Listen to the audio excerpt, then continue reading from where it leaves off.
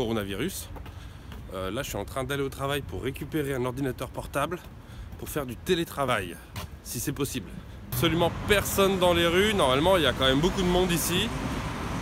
Euh, regardez, là, il y, a, vraiment il y a trois pelés, quoi. Faut pas venir les gens, malheureusement. Hein. Donc là, le monsieur, c'était le monsieur du Rex qui euh, placardait la fermeture du, bah, du cinéma pour une durée indéterminée. Je me demande combien de temps ça va durer, deux semaines, un mois, impossible de savoir. On se croirait dans un film, hein, euh, c'est vraiment euh, l'épidémie quoi. Six and a half hours later. Je suis parti de ma boîte euh, pour télétravailler, du coup j'ai toutes mes affaires avec moi. La boîte nous a payé le taxi à tous hein, pour qu'on puisse faire du télétravail.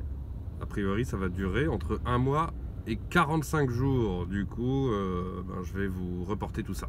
Il y a des gens qui font la queue devant le Monoprix pour acheter euh, ben, probablement à manger. J'ai jamais vu ça de ma vie.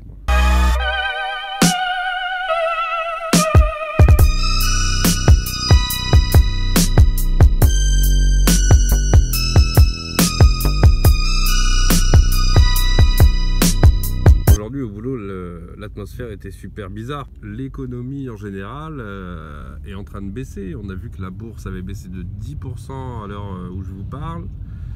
Euh, ben, tous les freelances qui bossent dans la vidéo ont leur contrat annulé. Il y a les McDo, tous les restos qui sont fermés. Tous les magasins qui ne sont pas essentiels, comme les magasins qui vendent de la bouffe, etc., sont fermés. J'imagine que les entrepreneurs comme les menuisiers ou où ben, plein de boulots ont leurs commandes qui se sont annulées. Donc c'est un peu la même merde. Hein. et finalement, c'est une maladie qui est arrivée. Et puis on a dû tous se barrer et tous se confiner.